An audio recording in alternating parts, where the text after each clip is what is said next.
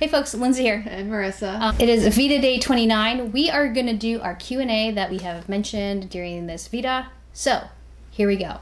Question from Dave. He asks, what is our favorite vacation ever? I don't know, it's a toss up between when we went west and when we went to the North Shore. Both of those were really fun. I remember the North Shore being a little bit more like vacationy versus when we went west was more of like we're just living out of our van. Less vacationy. That's true. I really enjoyed um, going west, like Marissa said. Mm-hmm. I also really enjoyed our trip east the same year, 2015. We kind of trupsed around, met up with a couple of my college friends, and then since we were out east, when the Pope was in Philly, we decided to randomly go to Philly. We also went to Hawaii this year, mm-hmm. and that was a really cool vacation. That was really spectacular and amazing. But it just it's different than like sometimes it's like when family vacations are different than relationship vacations. Yeah.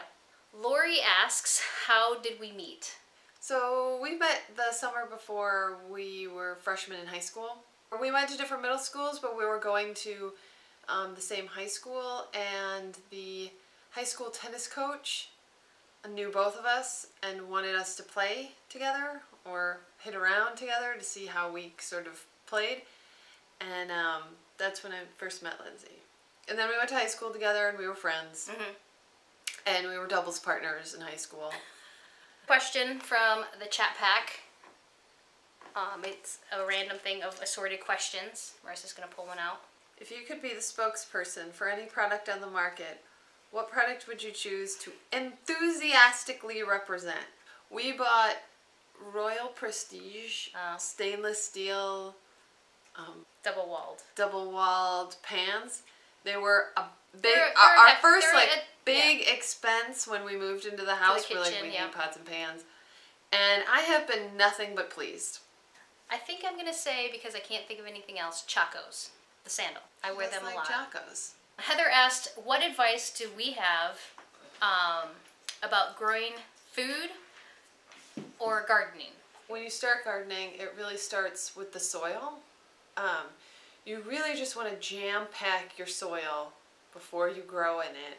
Like if you pull up sod or you're starting new garden beds, you want to jam pack it with compost. So you want to put like horse manure on it, chicken manure. You want to put as much good stuff in there to start um, all the of microbes. those microbes and stuff starting to come to the surface, getting a lot of worms, like building up that community because that is what is going to result in good plants no matter what you plant. And I think the other thing about gardening is um, it's just gardening. There, there are going to be good years and bad years for different things. Sometimes your flax will look beautiful, sometimes they will bloom for two days and get powdery mildew on them for the rest of the season. Sometimes uh, tomatoes have good years, sometimes they have bad years. A lot of it is in nature's hands and so you just have to do control what you can control and um, let everything else have at I, I would say grow grow what you want to eat. And if you're trying to figure out what to grow, try for high priced things yeah. at the I mean like you can you, we yep. can grow potatoes, but potatoes are relatively cheap, even organic. And potatoes take up a lot and they take space. up a lot of space. So that's another thing to think about. Yeah, that is our Q&A for surpassing 500 subs on our channel. Thank you so much. We appreciate it and we will see you tomorrow for some more VEDA videos. Bye. Goodbye.